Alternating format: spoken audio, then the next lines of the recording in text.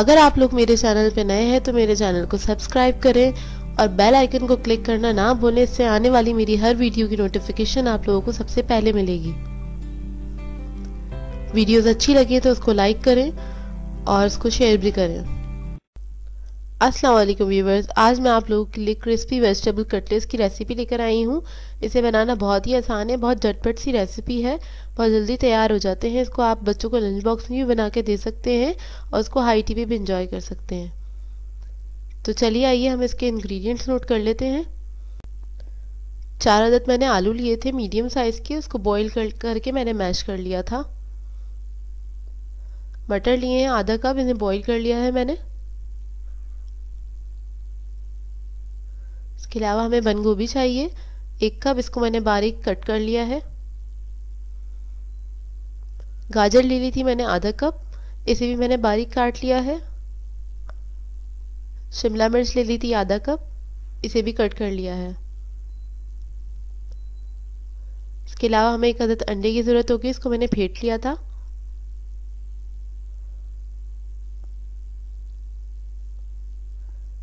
Bread crumbs चाहिए हमें, हसब ज़रूरत।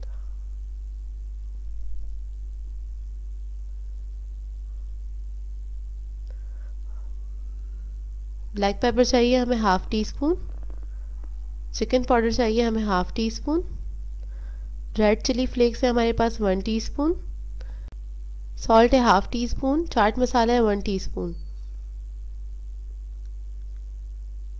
इसके लिए हम सबसे पहले आलू लेंगे। तो मैंने मैश कर लिए थे और उसके अंदर सारे स्पाइसेस मैंने डाल दिए हैं। उसके बाद हम एक एक करके उसके अंदर सब सब्ज़ियाँ ऐड कर लेंगे। अच्छा आप लोग बच्चों के लिए बनाए तो इसमें स्पाइसेस का ख्याल रखिएगा। कम या ज़्यादा आप लोग अपने हिसाब से इसमें ऐड कर सकते हैं। मिर्चें, अगर छोटे बच्चों के लिए बना रहे हैं तो आप इसमें कम भी डालें। ज़्यादा नहीं ऐड करें, मैं ज़रा बड़े बच्चों के लिए बना रही थी तो इसलिए मैंने इसमें मिर्चें बिल्कुल सही से डाली हैं। बाउल मुझे छोटा पड़ रहा है तो मैं चेंज कर लूँगी।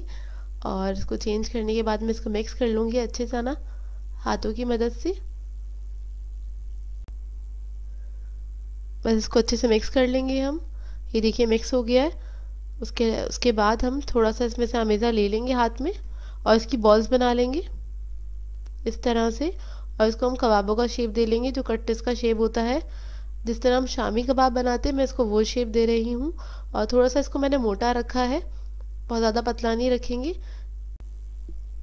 अब इसी तरह मैं सारे कटलेट्स को रेडी कर लूँगी। ये देखिए इस तरह से। ये देखिए मैंने सारे कटलेट्स जो है वो रेडी कर लिए हैं।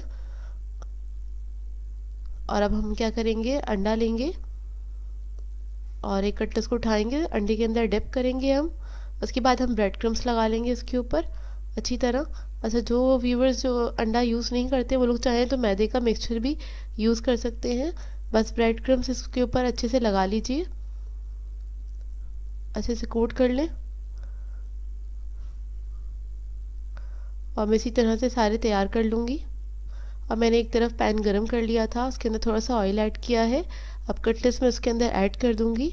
उसके अंदर डाल देंगे और शैलो फ्राई करेंगे। इसको हम गोल्डन फ्राई होने तक गोल्डन ब्राउन होने तक इसको फ्राई करेंगे। नीचे जब गोल्डन ब्राउन कलर आ जाएगा तो हम इसको पलट देंगे। बहुत जल्दी फ्राई हो जाते हैं। दो से तीन मिनट के अंदर ज़्यादा टाइम नहीं लगता है। जब गोल्डन ब्राउन कलर आ जाएगा तो हम इसको पलट के दूसरी तरफ़ भी गोल्डन ब्राउन कलर आने तक इसको हम पकाएँगे। ये बहुत ही क्रिस्पी और बहुत ही मज़ेदार कटलेट्स तैयार होते हैं। इस रेसिपी को ज़रूर ट्राई कीजिएगा और मुझे कमेंट करके बताइएगा ये रेसिपी आप लोगों को कैसी लगी और अपनी फरमाइश भी मुझसे किया करें। आप लोग क्या क्या सीखना चाहते हैं मुझसे? जब इस पर दोनों तरफ़ कलर आ जाएगा तो हमारे कटलेट्स रेडी हो जाएँगे। बस गोल्डन फ्राई गोल्डन ब्राउन होने तक ही हमें इसको फ्राई करना है इसको हम निकाल लेंगे। ये देखिए इसको मैंने निकाल लिया इसको इस तरह से सर्व कर लिया था। काफ़ी देर तक ये क्रिस्पी रहते हैं ऊपर से और अंदर से सॉफ्ट होते हैं बहुत ही मज़ेदार बनते हैं। इस रेसिपी को ज़रूर ट्राई कीजिएगा।